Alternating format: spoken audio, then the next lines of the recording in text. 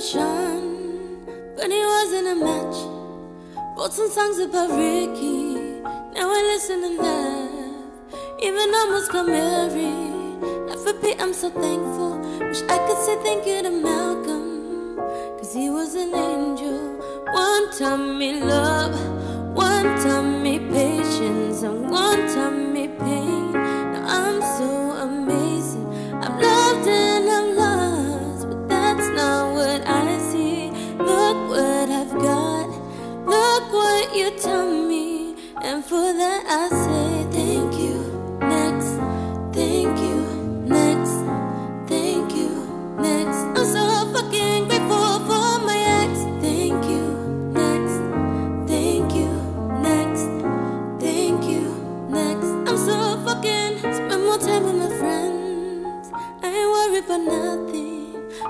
about someone else.